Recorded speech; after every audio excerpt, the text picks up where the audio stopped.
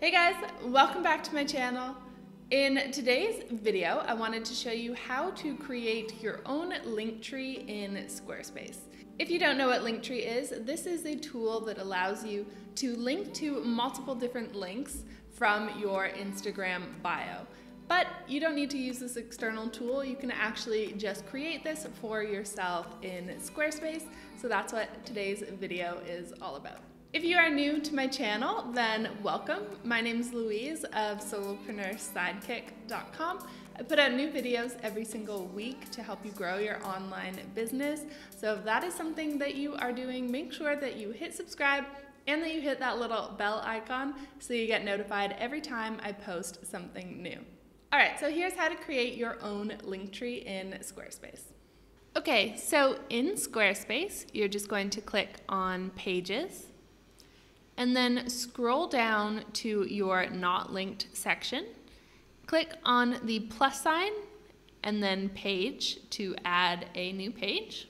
And then you can title this whatever you would like, whether you want to call it Instagram or I called mine the latest, for example.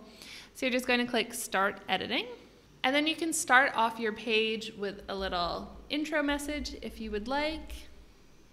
And then all you need to do is find your insert point, so this gray teardrop shape here, click on that, and then select button.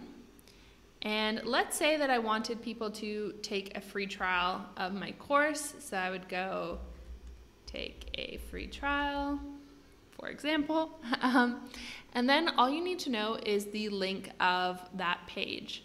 And you're going to click on click through URL and just paste that link in here. So I'm going to go and grab the link for my free trial. Then I'm going to go back into my page and just paste that link in here. Okay, and then click apply. Then I'm going to add in another button and add in my link for this one. So we're just changing our text up here for what the button will say, and then down here we are adding the link. So as you can see, it's super simple and that's why I don't think we need an external tool for this. So let me just add one more. Let's say that I wanted people to subscribe on YouTube. I would type that in and put the link in for my channel here, which I know is up here. All right. so I'm gonna grab that, paste that in and click apply. And then I'm going to center my intro message give myself a bit of space down here. All right, and click Save. So you can add as many buttons as you would like.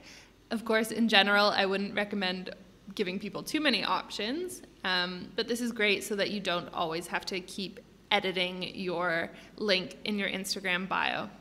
So in order to view what this will look like on mobile, just click that little line up top there, click your phone view, and now you have your very own link tree. So then what you're going to want to do is click this little gear icon here next to your page.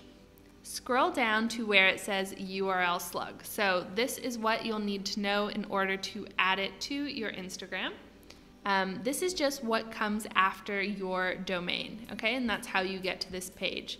So for example, my domain is solopreneursidekick.com now to get to this page, I'm just going to put forward slash Instagram. All right, so in Instagram, you're just going to click edit profile. And then where it says website, you're just going to type in this link here.